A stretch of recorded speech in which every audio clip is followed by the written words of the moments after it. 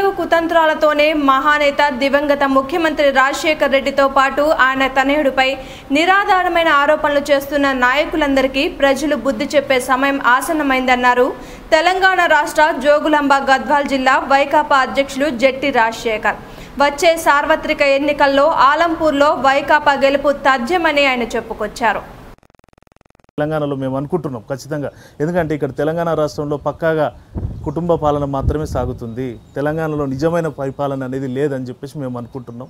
దాంట్లో భాగంగానే రాయలసీమ సరిహద్దు ప్రాంతము మా అలంపూర్ నియోజకవర్గంలో ఖచ్చితంగా మొట్టమొదటి సారిగా రెండు వేల పంతొమ్మిదిలో వైఎస్ఆర్ కాంగ్రెస్ పార్టీ జెండా ఎగిరేసి జగన్మోహన్ రెడ్డి గారికి కానికిస్తున్నాం తెలంగాణ రాష్ట్ర ప్రజలు కూడా ఈరోజు నీతి నిబద్ధతతో ఉన్నారు.